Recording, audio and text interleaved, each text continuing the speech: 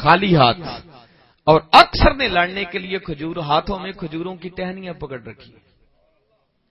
उधर खाने पीने का वाफर सामान और इधर रमज़ान का महीना और अरब का तपता हुआ सहरा है। दोनों फौजें जब मध्य मुकाबले आमने सामने आई, ताजदार कायनात सल्लल्लाहु अलैहि वसल्लम ने इस मंजर का नज़ारा किया।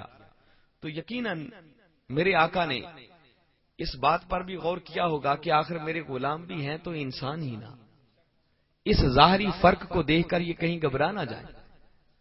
इनके पाए इस्तेकामत में कहीं लग्जश ना आ जाए। उस मैदान बदर के अंदर ताजदार कायनात सल्लल्लाहु अलैहि वसल्लम ने अल्लाह रब्बुल इज़्ज़त की बारगाह में एक दुआ की थी। उस वक्त भी कहते हैं कि सैयदना सिद्दीकी अकबर रज़ी अल्लाह तला आपके साथ थे, वो खास जो आपके लिए झोंपड़ी बनाई गई थी मैदान बदर में, और कहते हैं आपने इस कैफियत में डूबकर दुआ की कि आपकी कमली मुबारक भी कंधों से नीचे गिर गई। और दुआ क्या थी, वो बड़े तारीखी अल्फाज थे। अक्सर लोगों को वो जुबानी याद होंगे, छोटी इस्लामियात की किताबों में भी बाजुकात मैंने तो वो पढ़े हुए हैं। अल्फाज मेरे आका के ये थे, कोई लंबी चौड़ी दुआ नहीं की अर्ज़ की कि, मौला, जो ज़िंदगी भर की पूंजी थी, जो मैंने मेहनत की थी, वो ये तीन सौ तेरह नौजवान लाकर तेरे सामने मैदान में हाजिर कर दिए हैं। अब अगर ये तीन सौ तेरह नाकाम हो गए तो सुन ले, क्यामत तक तेरा नाम लेने वाला कोई नहीं होगा। बस ये दुआ थी। जरा एक लम्हे के लिए सोचें कि कायनात में किसी की मजाल है कि कोई अल्लाह को ये कह सके कि अगर ये नाकाम हो गए तो तेरा नाम लेने वाला ही कोई नहीं होगा। अल्लाह को तीन सौ तेरह का मोहताज, वो खुद कहता है, या युहल्लजीना आमनु, मैं यरतद बिन कुम अन दीन ही फसौफ या अतिल्लाह बिकौमिन युहिब होम व युहिबू न फरमाया, ईमान वालो, अगर तुम मेरे दीन की नौकरी से मुँह फेर लोगे तो याद रखो मेरा दीन तुम्हारा मोहताज नहीं है। तुम्हारी जगह और लोगों को ले आऊँगा, और कौम को लाऊँगा, और वो कैसे होंगे?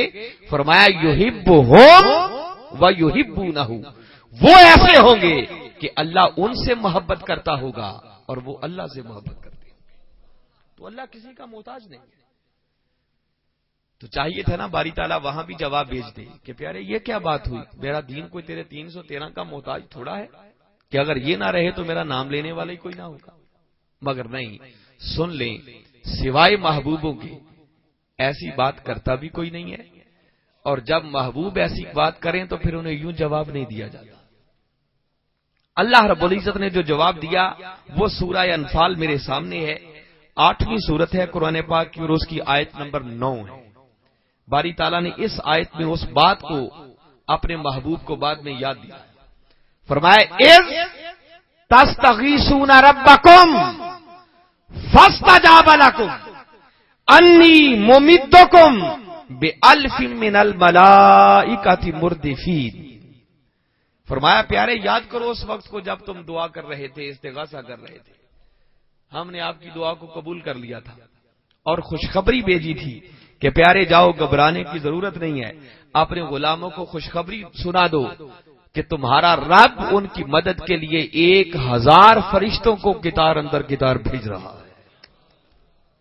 ये कुरानी अल्फाज में बता रहा है। बेअल्फिन मिनल मलाइका। एक हज़ार मलाइका के भेजने का वादा हो गया। कितने मलाइका? एक हज़ार। बाज लोग ये बात सुनते होंगे ना पहले कभी। तो शायद कईयों के ख्याल में गुजरता हो कि शायद ये फरिश्ते आए थे, कोई किस्सा कहानी? ये किस्सा कहानी नहीं, ये खुद कुरान है। बाकायदा मलाइका आए थे। बारी ताला ने एक हज़ार फरिश्ते का वादा फरमा लिया। कुर्बान जाए आका की अजमत पर और आका की शान महबूबियत पर। जब एक हज़ार फरिश्ते का वादा हो गया तो काफिर कितने थे? एक हज़ार। फरिश्ते कितने आ रहे हैं? तो मेरे आका ने सोचा होगा कि ये तो वन टू वन मुकाबला हो गया। हो सकता है मेरे गुलाम इस पे भी खुश हों या ना हो। जब पलट कर आए और गुलामों को खुशखबरी सुनाने लगे तो मेरे आका ने खुद एक हज़ार से बढ़ाकर तीन हज़ार का ऐलान कर दिया। कितना ऐलान कर दिया? ये बात भी कुरान के अंदर है। सूरह आले इमरान, कुरान पाक की तीसरी सूरत है और उसकी आयत नंबर 124 को कभी पढ़िए। बारी ताला ने फिर बाद में अपने महबूब को यह बात भी याद दिलाई। फरमाया, इस इसका माना होता है महबूब, याद करो। इस तकूल मोमिनीना, प्यारे, उस वक्त को याद करो, जब आप मोमिनों से फरमा रहे थे। उनसे कह रहे थे, क्या? अलई यक्ष यकुम अयुमिदकुम रबकुम बेसलासत आलाफी मिनल मलाइकति मुंजली प्यारे, उस वक्त को याद करो जब आप अपने गुलामों से यह फरमा रहे थे कि मेरे गुलामों क्या ये काफ़ी नहीं, कि तुम्हारा रब तुम्हारी मदद के लिए तीन हज़ार फरिश्तों को भेज दे। वादा कितने फरिश्तों का था? जब जाके ऐलान किया तो कितने बना दिए? बारी ताला को चाहिए था ना जिबरील को दौड़ाते। जिबरील दौड़ो, देखो वादा हज़ार का है, वो तीन हज़ार का ऐलान कर रहे मगर नहीं, महबूब है ना और आका को शान ये आता करती है कि मेरे आका जो सुबह से निकाल दे। बारी ताला उसी को शरीयत बना दिया करते हैं ये शान कायनात में फकत हमारे आका को हासिल है रोका नहीं है। बल्कि उधर मेरे आका की ज़ुबान एकदस से निकला होगा। अल्लाह रब्बुल इज़्ज़त ने मलाइका को हुक्म दे दिया होगा कि कितारे बनाकर खड़े हो जाओ। मेरे महबूब की अबरू का इशारा हो, वो हज़ार फरमा दे। तुम हज़ार चले जाना, वो तीन हज़ार फरमा दे, तुम तीन हज़ार आसमानों को छोड़कर मैदान बद्र में कूद जाना। आका ने अपनी मर्ज़ी से तीन हज़ार का ऐलान कर दिया। और ये ऐसे ही है, मैं बताया ना कि आका को इख्तियार दे दिया है, आका जो चाहे, वही शरीयत बन जाती है। जब हज का हुक्म आया ना तो आपने सिहाबा इकराम को फरमाया कि अल्लाह रब्बुल इज़्ज़त ने हज करना फ़र्ज़ करार दे दिया। एक सिहाबी सामने आए और आकर सवाल करने लगे कि आका, क्या हज करना हर साल फ़र्ज़ है? मेरे आका ने अपना चेहरा फेर लिया। वो पलट के फिर दूसरी बार सामने आया। फिर कहने लगा, आका, क्या हज करना हर साल फ़र्ज़ है? मेरे आका ने फिर अपना चेहरा घुमा लिया वो फिर पलट के सामने आया, तीसरी बार सवाल किया, आका, क्या हर साल हज करना फ़र्ज़ है? मेरे आका नाराज़ होकर फरमाने लगे कि इतने सवाल न किया करो। जितनी बात बता दूँ वो ले लिया करो, तुम्हारी खैर होती है। आगे फरमाया लवकुल तो नाम लवाटा बात। फरमाया, अगर मेरी ज़ुबान से हाँ निकल जाता तो हर साल हज करना तुम्हारे लिए फ़र्ज़ हो जाता। यह आका की शान है। आका जो फरमा दे, वही शरीयत बन जाती है। इस पर आपको एक ईमान अफरोज वाक्य सुनाता हूँ। सादा बात सुनाता हूँ। हदीस मुबारक है। रमज़ान का महीना था और आपके एक सिहाबी बगैर किसी शरी उजर के रोजा तोड़ बैठे। जब रोजा तोड़ लिया तो आका की बारगाह एक में आ गए। अर्ज़ किया, आका, रोजा तोड़ बैठा हूँ, क्या करूँ? मेरे आका ने फरमाया कि भाई, अल्लाह का हुक्म है कि जो बगैर किसी शरी उजर के एक रोजा तोड़े, उसकी जगह पर मुसलसल साठ रोज़े और रखे। और होने भी लगातार चाहिए। अगर उनसठ रख कर एक नागा हो गया तो गिनती फिर एक से शुरू। ये बगैर किसी शरी उजर के अगर रोजा टूट जाए तो ये उसका कफारा है। और एक रोजा कजा का रखना पड़ेगा। अर्ज़ करने लगा, आका, अगर साठ रखने के काबिल होता तो वो एक ही पूरा कर लेता। मैं तो साठ नहीं रख सकता। आपने फरमाया अच्छा ये नहीं कर सकता तो दूसरा हाल ये है कि साठ गरीबों को खाना खिला दो। हाथ जोड़ के खड़ा हो गया कि आका, मैं तो खुद गरीब हूँ, साठ गरीबों को खाना कहाँ से खिलाऊं अब दो ही हल थे जो शरीयत ने दिए, उसने दोनों से हाथ खड़े कर दिए। अब दुनिया के किसी मौलवी को यह इजाज़त नहीं है कि वो को रोज़े के कफारे का आगे तीसरा हल भी बता सके। मगर वो किसी आम आलम दीन की बारगाह में तो बैठा नहीं था, खुद बारगाह रिसालत में आया बैठा था। जिस दर से कोई साली, सवाली खाली जाता ही नहीं। अल्लाह का हुक्म है ना वाम मसाइला फला तनहार। प्यारे, कोई साइल भी आ जाए, वो तेरे दर से मायूस नहीं जाना चाहिए। झोलियाँ बर बर के हर किसी को लौटाओ दोनों से हाथ खड़े कर दिए। हम जैसा होता तो नाराज़ हो जाता कि तूने तमाशा ही बना लिया है। अब नहीं कर सकता तो मैं क्या करूँ? मगर कुर्बान जाए आका की शफकत। फरमाया अच्छा नहीं कर सकता, बैठो, इंतज़ार करो। थोड़ी देर गुजरी थी, एक सिहाबी आया। कोई खजूरों का टोकरा था, उसने आका की बारगाह अकदस में पेश किया, अर्ज़ की कि आका इसे खैरात कर दें, बांट दें, सदका कर दें। मेरे आका ने आवाज़ दिया ही न साइल वो पहला सवाल करने वाला किधर गया? हाजिर हुआ। मेरे आका ने फरमाया, ये खजूरों का टोकरा ले जाओ, जाकर अपनी बस्ती के गरीबों में तकसीम कर दो, तुम्हारे रोज़े का कफारा अदा हो जाएगा। यह है उस नबी का इख्तियार। जो ज़ुबान से कह दे, बारी ताला वही शरीयत बना देते। मगर वो भी कैसा खुश नसीब था कि आका की इस शफकत को देखकर कैसी कैसी जसारत कर बैठते थे। जब आका ने इतनी खुली छोटी दे दी ना, फिर अड़के खड़ा हो गया और पलट के कहता है कि, आका, मेरी बस्ती में मुझसे ज़्यादा गरीब है ही कोई नहीं। मेरे आका फिर भी नाराज़ नहीं हुए फरमाया अच्छा सबसे ज़्यादा गरीब तू है। जा, खजूरे ले जा, खुद भी खा, अपने बच्चों को भी खिला, तेरे रोज़े का कफरा अदा हो जाएगा ये है उस नबी की और उस आका की शान। मेरे आका जो फरमा दे, बारी ताला वही पूरा कर देता। उस नबी की शान सूरा आराफ में बयान किया। फरमाया, युहिल्लो लहुम बात मेरा रसूल जो चीज़ हलाल कह दे, वो तुम्हारे लिए हलाल हो जाती है। वह युहर्रम ही मुलखबाइज और जिस चीज़ को हराम फरमा दे, वो तुम्हारे लिए हराम हो जाती है। हलाल और हराम सिर्फ़ अल्लाह के हुक्म से नहीं होता। यही शान अल्लाह ने खुद रसूल को दे रखी है।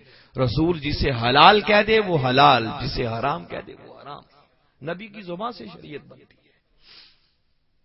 खैर, मैं तो बता ही रहा था कि वादा एक हज़ार फरिश्ते का हुआ। जब जाके ऐलान किया तो कितने बना दिए? तीन हज़ार। अब ये तो एक तमहीदन बात लंबी हो गई। अब जो मौजू से रेलिवेंट बात है, वो इससे अगली आयत में आ रही है। जो तकवा का माना आपको बताना चाह रहा था। जब तीन हज़ार फरिश्तों का ऐलान कर दिया। तो आगे कुरान पाक के अल्फाज हैं। बारी ताला ने यह कुरान पाक में नकल की है और है ये पिछली आयत का तसलसल। पहले ऐलान कर दिया कि मेरे गुलामों, ये काफ़ी नहीं कि तुम्हारा रब तुम्हारी मदद के लिए तीन हज़ार फरिश्तों को भेज दे। आगे फरमाया, बला इन तस्वेरू व तक बल्कि फरमाया, अगर तुम सबर करो और मुत्तकी बन जाओ। अपने मन के अंदर तकवा का नूर पैदा कर लो। वयातू को मिन फौरे हिम और ये दुश्मन अभी तुम पर हमला आवर हो जाए। फरमाया, हाजा युम दिद कुम रब कुम बेखमसाती आलाफी मिनल मलाइकाती मुसविमीन तो सुन लो, अगर ये दो शर्तें पूरी कर दो कि साबिर बने रहो और मुत्तकी बन जाओ तो अल्लाह की फरिश्तों की यही मदद तीन हज़ार से बढ़कर पाँच हज़ार तक भी पहुँच सके। कुरान पाक की आय तो आपने सुन ली। मुझे सिर्फ़ अब तकवा का माना आपके सामने रखना है। गौर करें इन कलिमात उस वक्त जो मेरे आका फरमा रहे हैं फरमान आका का है मगर बारी ताला ने कुरान बन, बना के नाजिल किया हुआ। जिसमें किसी शक की गुंजाइश अब नहीं है। शर्त यह लगाई जा रही है कि मेरे गुलामों ये फरिश्तों की मदद पाँच हज़ार भी हो सकती है। मगर तब अगर दो बातें हो जाए। क्या कि एक तो तुम सबर का दामन थामे रहो? और दूसरा व वतकू तुम मुत्तकी भी बन जाओ। कहा ये शर्तें लगाई जा रही हैं? मैदान बदर में। दुश्मन सामने खड़ा है जैसे जंग करनी है। और फरमाया जा रहा है वया तू को मिन फौर हिम हाजा। अभी यह दुश्मन, ये फौज तुम पर अगर हमला आवर हो जाए, तुम अगर दो काम कर दो। साबिर बने रहो, मुत्तकी बन जाओ। तो फरिश्तों की यही मदद पाँच हज़ार तक पहुँच जाएगी भाई, सबर तो समझ में आता है। मगर अब अगर तकवा का यहाँ पर कोई माना यह करे कि मुत्तकी वो होता है जो ज़्यादा हज और उम्रे करता है तो वहाँ हज और उम्रे करने का वक्त, वहाँ तो दुश्मन सामने खड़ा है जैसे जंग करनी है कोई कहे मुत्तकी वो होता है जो रातों को उठ उठ के ज़्यादा इबादत करता है तो रातों की शब बेदारियों का अब वक्त कोई समझे जो ज़्यादा नमाजें पढ़ता है, वो मुत्तकी है। तो नमाजों का वक्त नहीं है, अब तो दुश्मन से जंग करनी है। अब तो तकवा का कोई ऐसा माना तलाश करना पड़ेगा, जो एक लम्हे के अंदर तकवा की सारी मंजिलें तय करवा दे। तब इस आयत करीमा पर अमल होगी। और अगर शर्त पर अमल करना मुमकिन ना हो तो शर्त लगाने का फ़ायदा क्या? इसका माना कि कोई तकवा का ऐसा तस्वुर है जो एक लम्हे के अंदर सारी मंजिलें तय करवा देता है। और वो एक ही तस्वर है कि बारी ताला अपने महबूब के गुलामों को समझाना ये चाह रहे हैं कि मेरे महबूब के गुलामों, ये ना देखो कि वो एक हज़ार है, तुम तीन सौ तेरह हो। उनके पास जंगी साजो सामान तुम निहत्ते हो, खाली हाथ हो। फरमाना, इन चीज़ों को खातर में ना लाओ। बस मेरे महबूब के अबरू के इशारे पर लब्बैक कहना, उस हुक्म को बजा लाना तुम्हारा काम है और तकवा की सारी मंजिलें तय करवाना ये मुझे खुदा का काम